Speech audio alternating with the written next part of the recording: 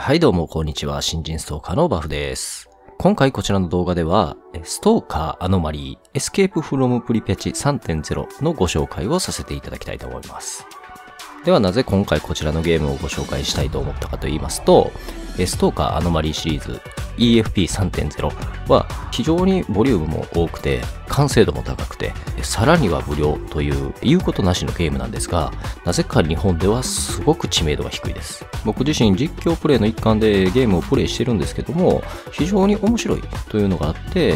こちらのゲームが知名度が低いというのは非常にもったいないなというのがあってこちらの動画を作成しました。おそらくサムネにも書くと思うんですけどもエスケープタルコフの雰囲気が好き。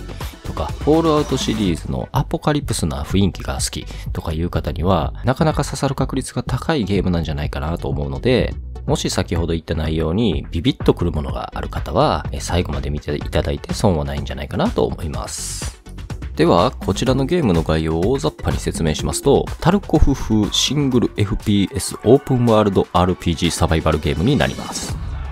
プレイヤーがゾーンと呼ばれるチェルノブイリ原発周辺の地域に到着したところからゲームがスタートします。そしてゾーン各所にある町には仕事を依頼する住人たちが生活しており、それらの依頼をこなしたり、敵対勢力を倒して資材を販売したりしてお金を稼ぎながら装備を整えていくというのが主なスタイルになります。そして、えー最終的にはゾーンに存在すると噂される願望機と呼ばれるものを探すことが目的となります。これだけ説明するとありきたりなゲームに聞こえるかもしれませんが、えーこちらのゲームには唯一無二の要素がたくさんあります。まあ、それらを、えー今回は列挙して、えーご説明していければなと思っております。まず第一の要素が、え神ゲーエスケープフロムタルコフに極めて近いゲームシステム。前提としてこちらのゲームはかの有名なストーカーシリーズを原作としたストーカーアノマリーというスタンドアローンモッドが原作となっております。そちらのストーカーアノマリーに対してエスケープフロムタルコフに近づけるために作られたのがEscape From Pripyat 3.0と呼ばれるモッドパックになります。そういった経緯もあって、よくある Escape from Tarkov に似てるとか、近いとか、そういったレベルではなく、あくまでも有志が無償で作成しているゲームのため、権利関係のしがらみなど一切なく Escape from Tarkov に近づけていってるというのが、こちらのゲームの特徴になります。そもそもストーカーシリーズ自体がアイテムをルートして集めたり、敵から装備を剥ぎ取る、えー食事を取らないといけない、出血などのデバフが存在する、多種多様な銃を使って、えークエストなどをこなしていく、など、タルコフと通じる要素がたくさんあるゲームです。さらにはストーカーアノマリーになって、えーグラフィックやモーションなども突き詰められており、正直それ単体でも結構タルコフに似ている部分があります。しかしながら EFP3.0 を導入すると、例えば HP が V 製で管理になる。えー回復アイテムもタルコフと同じようなものになる。え弾薬の管理などもマガジン単位で管理が必要になってくるなど、システム面なども非常にタルコフに近づいていくようになります。そもそもタルコフ自体がストーカーシリーズの制作メンバーが一部参加していたり、タルコフはストーカーシリーズを参考にして作られたという噂もあるぐらいなので、えーそれぞれのシリーズに親和性があるのは間違いありません。僕は、えータルコフを3シーズンほどがっつりプレイしていましたけど、えー僕個人の感想としましては、雰囲気はかなりタルコフに近いと言っても過言ではありません。えーでは、おすすめする理由その2ですが、えー無料でプレイできるゲームの枠を超えた完成度。無料ゲーと聞くと、なかなか完成度が低かったりとか、グラフィックがしょぼいとか、えーモーションが悪いとか、いろいろネガティブな要素が思い浮かぶと思うんですが、えーこちらのゲームはそもそもが、えストーカーシリーズという有料のゲームが原作となっておりますので、しっかり有料ゲームレベルの完成度に仕上がっております。もちろん有志が無償で作っているゲームのため、えバグが残っているなどの状況は、え多少はありますけども、今のところ僕が15時間ぐらいプレイしてるのかな？その中で、えー対処ができないっていうような、えー致命的なバグに遭遇したことは現状のところはありません。そして、えーもう少しこちらのゲームの内容を詳しく説明すると、えーこちらのゲームはタルコフと違って、反オープンワールドの世界を自由に冒険するゲームになっております。その世界でお腹が空けば食事をとり、喉が渇けば水分をとり、眠気が溜まれば睡眠をとる。行く先々の街で困っている人の仕事を請け負ってお金を稼いでもいいし、敵対勢力を襲って装備を強奪して、それらを売却してお金を稼ぐもよし。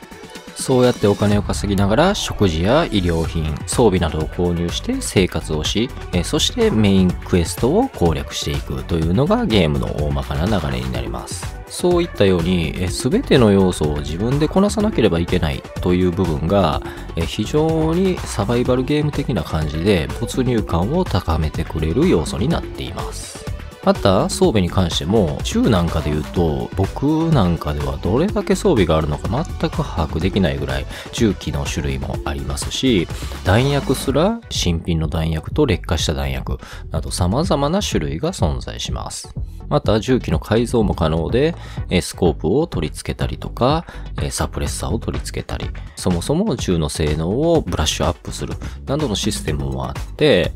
タルコフのように一生懸命作ったカスタム銃に愛着が湧くというのと同じように自分が作って冒険を共にした愛銃に愛着が湧いてしまうなんていう一面もあります。また舞台となるゾーンという世界には、え、放射能で突然変異したミュータントが生息していたり、え、地下のダンジョンのような研究施設に潜入するなど、先に挙げたフォールアウトのような雰囲気も合わせ持っており、どんなプレイスタイルを取るかは本当に自由です。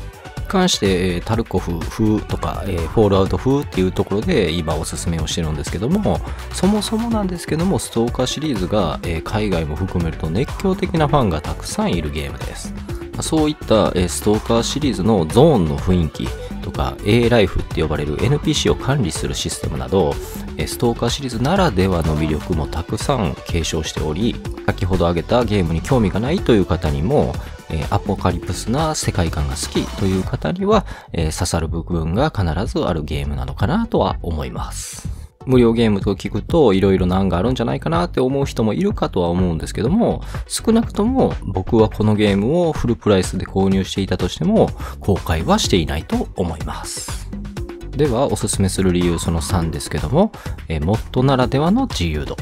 えー、こちらは少し敷居が高い話にはなってしまうんですけども、そもそもモッドの文化というのは自分好みにゲームを改造する文化です。ストーカーアノマリー自体には非常に数多くの種類のモッドが制作されており、存在しないモッドはないんじゃないかなと思うレベルです。こちらの動画では EFP3.0 をおすすめしていますが、そもそもストーカーアノマリー自体にモッドを導入しまくれば、えー、自分好みのゲームを作ることが可能なレベルで大量のモッドが制作されております。そういった要素から EFP3.0 に追加でアノマリーのモッドを導入してあげれば、え自分好みにカスタマイズすることも可能です。EFP 自体にもなかなか難しい要素を緩和する追加モッドなどが用意されていたり、そもそもアノマリーの設定項目で難易度が非常に細かく設定できるなど、自分がちょうどいい難易度でプレイしやすい環境が整っております。なので、骨太なゾーン体験がしたいという方は高難易度に設定して、優しくヒーロープレイをしたいという方はイージーでプレイするなど、自分好みのゲームに調整することが可能なため、なかなか万人の方におすすめしやすい調整が可能なゲームになっています。今のところ僕はイージーでプレイしてるんですけども、まあ、ちょうどいい難易度、お金稼ぎなどもそんなに時間がかからず、ただ死ぬ時は死ぬっていうような難易度でプレイできているので、そんなに普段ゲームをがっつりしないっていう方でも、全然プレイできる難易度に調整が可能です。またゲーム内でもストーリーボード以外に色々なモードが用意されており、それらのモードでプレイすると全然違うプレイ感でプレイできたり可能なので、プレイ時間もなかなか長く遊べるゲームになっているかと思います。以上がえ大きくおすすめする理由になります。まあ、それ以外にも魅力を上げろと言われればたくさんあるんですけども、えー、それをかれこれ全部上げていくと非常に長くなってしまうので、えー、以上にさせていただきたいと思います。現在いろいろな社会的情勢で全世界が待望していたストーカーシリーズの最新作が開発中止になってしまったりっていう状況もあります。ただ、ストーカー2はウクライナのゲーム会社が発売を諦めたわけではないので、えー、そちらが発売した時により楽しくプレイできるように予習としてプレイするのも一つなのかなと思います。